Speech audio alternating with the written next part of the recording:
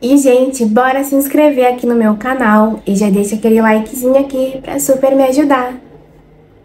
Oi, oi, galerinha do YouTube! Tudo bem com vocês? Sejam bem-vindos de volta ao meu canal.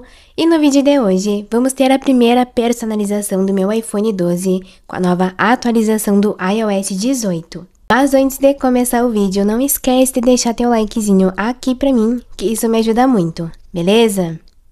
Bom, e aqui está esse maravilhoso, o iPhone 12. Lembrando que tem vídeo de unboxing dele sobre as capinhas, personalizações e algumas dicas aqui no canal para vocês. Vou começar selecionando uma capinha, porque no momento ele tá sem capinha nenhuma. E, gente, para tudo para essa capinha que eu escolhi. Vou tirar aqui do plástico junto com vocês. E olhem só que coisa mais perfeita, tô apaixonada nessa estampa. Tem de outras cores também, mas eu quis assim rosinha e ainda adicionei esse acessório super lindo, tudo maravilhoso e muito moderno. E bora aplicar aqui no celular pra gente começar logo essa perso. Bom, e a minha telinha de bloqueio tá assim bem básica, já a telinha inicial também. Esse wallpaper é da nova atualização do iOS 18. E eu vou começar procurando por esse aplicativo aqui, lembrando que ele é totalmente gratuito lá na App Store, é só baixar. Vou selecionar essa opção aqui que diz iOS 18, que tem vários íconezinhos pra gente colocar na nossa tela de bloqueio. Olha só que fantástico. E até na nossa central, né, que agora atualizou no iPhone. A gente pode estar escolhendo várias opções e aí é só salvar. Vindo para minha tela de bloqueio, eu vou ficar pressionando, vou arrastar para o ladinho e vou vir no maisinho. Aqui em fotos, vou selecionar essa imagem perfeita, esse wallpaper é muito lindo, né?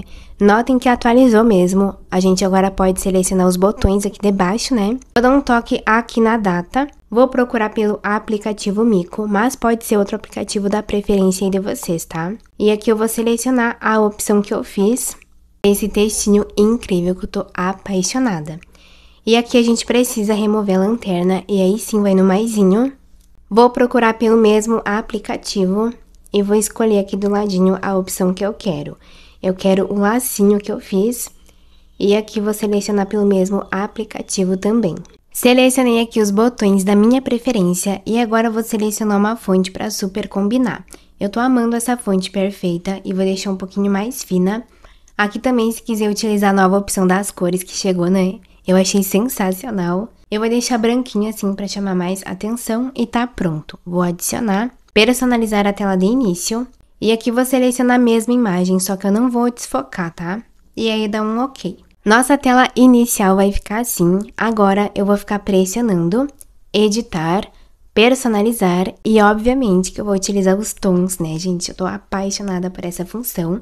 Eu quero o wallpaper clarinho eu acho que esse tom aqui tá perfeito. Eu vou colocar pra combinar com o meu wallpaper. Tem opção clarinha ou escura. Eu acho que assim tá ideal. Esse tom aqui, gente, tá perfeito. Olha só, vai ficar mais ou menos assim. E aí, se vocês quiserem, pode deixar os ícones maiores e sem o nomezinho. Eu vou optar por colocar os ícones com o nomezinho. Excelente assim, olha só que lindo. E aí, ele vai atualizando e vai ficar todas as páginas assim. Agora, eu vou ficar pressionando editar adicionar widget e vou selecionar esse widget aqui do tempo. Temos essas opções aqui agora. Vou selecionar a primeira opção mesmo, é só adicionar. E agora vou aproveitar que a gente pode personalizar em qualquer canto da tela. Isso aqui tá muito maravilhoso. Arrastando aqui pro ladinho é a minha primeira página que eu deixei assim, só vou adicionar mais um widget. Eu vou ficar pressionando, vem aqui em editar, adicionar widget e vou adicionar o widget dos contatos. Temos essas três opções aqui, eu vou selecionar essa segunda e é só adicionar. Vai vir aqui pro final, eu vou jogar lá por primeiro, que eu tô mais acostumada. A mesma coisa esse widget aqui do Spotify, vou deixar no meio.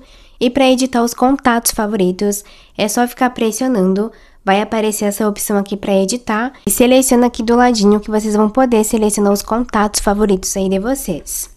Também vou personalizar minha central, que agora a gente tem muito mais liberdade para isso. Vou ficar pressionando e vou remover alguns ícones aqui que eu não vou utilizar, olha só, é só tá removendo.